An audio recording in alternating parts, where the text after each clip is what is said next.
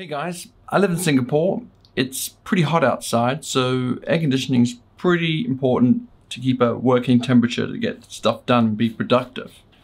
Now, outside, the, the aircon service guys are servicing my, my air conditioning units.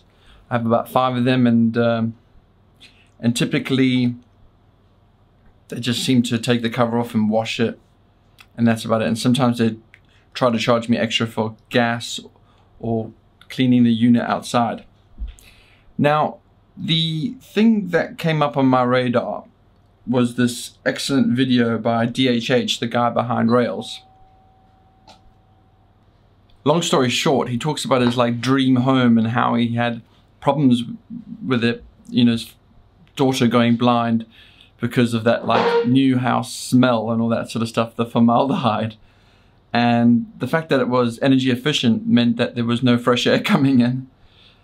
Anywho, so since then, I've been, since I work in a small room for hours in a day, I was a bit, getting a bit obsessed about CO2 levels myself. Hence, I bought this bad boy, um, which I saw in some sort of Tesla Elon Musk tweet. Um, the platform itself is quite interesting. You can see the components here. So this is the temperature and humidity.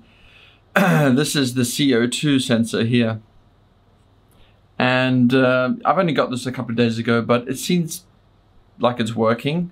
You know, if you breathe on it, the CO2 goes up.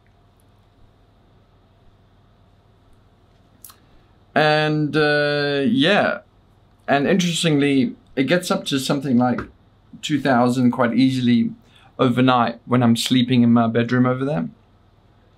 So yeah, I'm a little bit, um, and uh, I, here's a, I mean, this is like not cheap. This is like a hundred dollars and this is like $10 Xiaomi. I was kind of hoping to be able to plug in the USB and be able to get the values off, but it doesn't seem to work. And I still don't actually know what these function buttons do.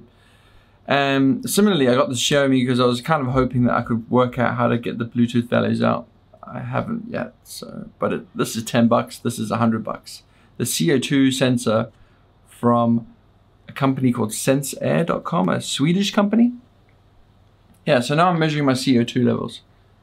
I asked the aircon guys just then, how do I get fresh air? Because right now, all these aircons are doing, I mean, to my surprise, I didn't even know this um, before, before uh, watching this video. How do I get fresh air in here? And they were telling me you can't with this system. Oh dear. But newer condos have ducted systems, which is pretty much the norm in commercial buildings, not so much in residential. And these ducted buildings do bring in fresh air and make the air quality better. So there you have it. I'm just sharing all I know about air quality to, to you guys. If you know better, any practical tips to improve things, especially for people like me living in Singapore who need their air conditioned, do please do please let me know in the comments below.